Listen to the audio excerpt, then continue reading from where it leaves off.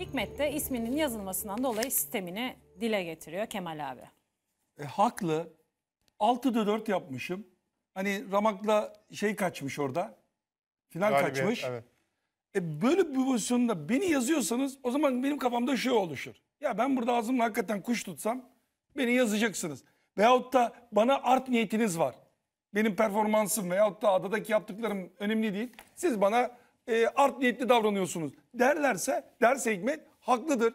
Hani bir sebep göster. Ya bir şey söylerken altını doldurmak lazım. Bunun kararını verirken altında bir sebep lazım. Dün 6'da 4 yapan bir Hikmet'e o 3 tane. Hadi Gökhan'ın orada katılıyorum. Başından beri ki Gökhan'ın dün de e, Hikmet yazmasını zaten anlamadım. Gerçekten anlamadım. E, mantığım almıyor. Yazmasını anlamı. Diğer arkadaşların neye göre, hangi kıstasa göre Hikmet yazıyorsunuz? Bu insanı otomatikman, moralman çökertir. Evet. Yani Allah'tan Hikmet güçlü bir karakter. Gerçekten bunlara karşı çıkabiliyor.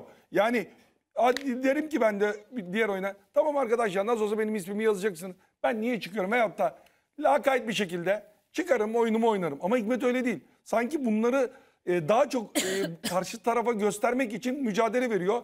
Gerçekten çok güçlü bir karakter. E, böyle durumlarda sinir sisteminin iyi olması lazım. Bu kadar 3-3,5 aylık bir en iyi All Star Survivor'ında bunları yaşarken burada ayakta kalabilmek çok önemli. Söylemlerine de kesinlikle katılıyorum. Hikmet'e haksızlık yapılıyor şu dönem için. Kemal abi o zaman şimdi Ayşe'nin de iki gün üst üste iyi bir performansı Evet. olmasına rağmen Sürgün Adası'na, Yokluk Adası'na Evet. gitmesi. O zaman Ayşe de sistemlerinde sonuna kadar Haklı. Yani bak şöyle diyorum ya. Arkadaşlar hani burada herkes yazılabilir. Ayşe de yazılabilir. Evet performansına bakalım. Ayşe'nin yüzde 44, Nisa 43, Yağmur 42, Evrim 40. Evrim yazıldığına göre 3 kişi var orada. Birbirlerine bitişik 42, 43, 44. Yazılabilir ama bunları yaparken en azından bir gün dersin ki ya hani bugün Allah için bu kız da iyi mücadele etti. Üçte iki yaptı. Dün de aynısını yaptı. Ee, son günlerde bir çıkış içinde. Tam tersi de son günlerde düşüş içinde olan bir yağmur var. Şu yağmuru da bir yazalım. İnsanlara da şunu anlatalım. Biz performansa göre evet arkadaşız ama arkadaş da Hayır, olsak kesinlikle değil. efendim Yani kesinlikle böyle arkadaş ilişkileriyle hareket ediyorlar. evet Bu işte arada- orada dakika. orada sıkıntı zaten. Bu arada Sıkıntı Survivor'da orada. sadece sadece performansla yazılacak diye bir şey yok ki. Hiçbir zaman olmadı evet ki böyle tamam bir şey. yok ama, Ama Yani- bunu gerekçe bir olarak kere de yazılmaz mı göstermenin bir Yağmur'a? yok. Gökhan? Yazılabilir. Yani Yağmur'un bu, bu zamana kadar yazılamaması Yağmur'un başarısıdır. Yazılmaması. Çünkü arkadaşlık ilişkilerini Evet. bir şekilde iyi tutup Bravo. Yağmur'un bu başarısıdır. Bu da bir Survivor'da gerekli bir durumdur. Ben bunu anlatmaya çalışıyorum. Orası Survivor. Sadece performans yarışması değil. Doğru. Senin ada hayatın var. Arkadaş ilişkilerin var. Kiminle iyi geçindiğin var. Kimin e, tavuğuna kış kış deyip demediğin var. Yani şimdi Ben baskılama olduğunu Bak Hikmet. Hikmet ne kadar performansı iyi bir yarışmacı olsa da 55'lerde artık 60'lara dayanmış olsa da adı yazılabilir. Hikmet'in yazılabilir ne yazık ki. Hikmet çünkü adada bazı kişilerle iyi geçinemiyor. Bazı kişilere rahatsızlık veriyor o kişiler o kişilere göre yani. Sen Evet. şimdi kendince vermiyorsundur ama o kişilere göre ra- ra- senden rahatsız oluyorlardır. Yani o yüzden Survivor'da aa performansı yüzde 55 yazılamaz ya da dün çok iyiydi yazılamaz diye bir şey ben hiçbir zaman görmüyorum. Tam Bu tersi. yarışmanın adı Survivor. Bu yarışmanın adı e, Hayatta performans kalma mücadelesi. performansı en iyi yarışması değil. Bu yarışma her şeyden %25 aldığımızı düşünelim. Arkadaşlarınla iyi geçinme %25, performans %25, ne bileyim ada hayatın 25. Bir şey daha bul hadi. Bilmiyorum. Ya bak öyle kalırsın. Seyirciye sempatik gelme. Peki o zaman, de o zaman, o zaman ben Yani- de şöyle geliyorum sana. Şöyle geliyorum. Bir sen hariç evet. performanstan dolayı iyiydi de gitmedi dediğin var mı? Bora. Bora işte o zaten ünlülerin sıkıntısı. Evet. Ünlülerin e, o günkü e, tercih hakkı yani takım olamaması. O Bora'yı Tamam. zaten hep söylüyorum. Evet. Ama diğerlerinde genellikle performansları Sercan öyle. Düşük yazılı, E, evet. Fu- Furkan öyle ki bu e, Sercan'ın yani aday hayatında sıkıntısı pek yoktu ki. Mert'le de iyiydi, diğer arkadaşlarımla da iyiydi. Hayır Ama ben de demek istiyorum ki çok günlük konuşuyoruz. Gökhan'ın da adı yazıldı. Gökhan da 3'te 2 yaptığı zaman da adı yazıldı. 2 gün üst üste hatta 3'te 2 yapmıştı. Yine adı yazıldı. Ama pe- performansı iyi.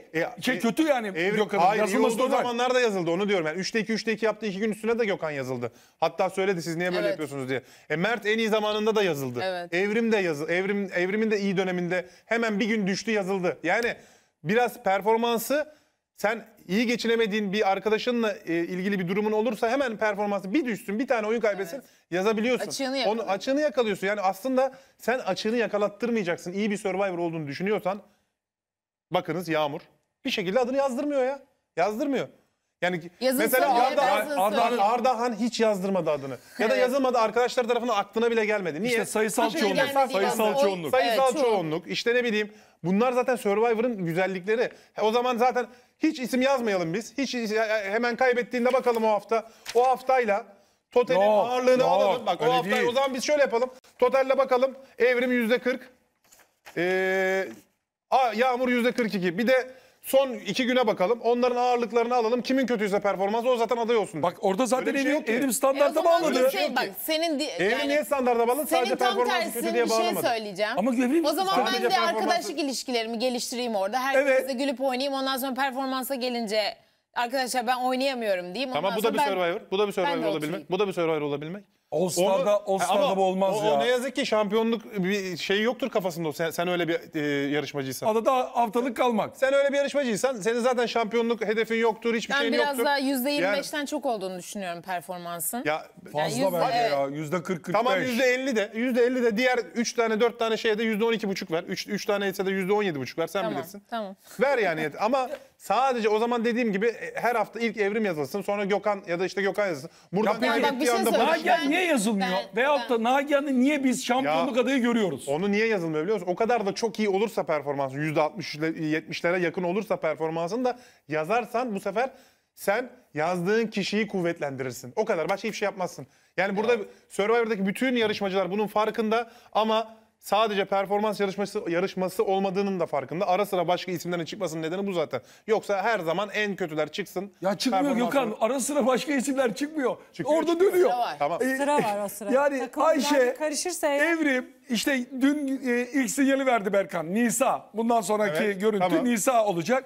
Hani Yağmur'a sıra Hikmet çıktı mesela 5 kere 6 kere ismi Hikmet 55'lerde 60'larda oynarken. Hayır, Ben de Hikmet- diyorum ki işte bu arkadaşlarıyla iyi yönetemediğinden Tamam. ve sürekli çok baskın karakter olmasından Hikmet'in kaynaklı. o zamanki sıkıntısı şu. Hem adada kötüydü.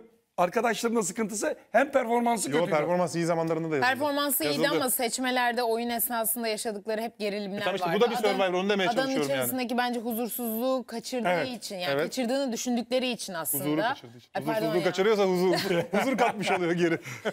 Hu- Huzuru kaçırdığı için bence öyle bir Hikmet'i yazdılar. Ya Hikmet bence yazılmaması gereken isimlerden bir tanesi. Performans anlamında ihtiyaç var. Sadece benim takılı kaldığım konu şu. E, hani işine gelince böyle performans adı altında bazı isimler yazılıyor. İşine gelmeyince de işte aslında arkadaş ilişkilerimiz onlar bunlar. Yani hep bir kılıfına uyduruluyor ya. Evet. Daha net olsa bence daha güzel olur. Yani benim e, şahsi görüşüm bu. Burası hani şunu Survivor. diyebilirsin. Yani çıktığın zaman mesela oy kullanırken evet performans anlamında Gökhan'ı atıyorum. Çok zayıf buluyorum takımda. O yüzden Gökhan'ı yazıyorum.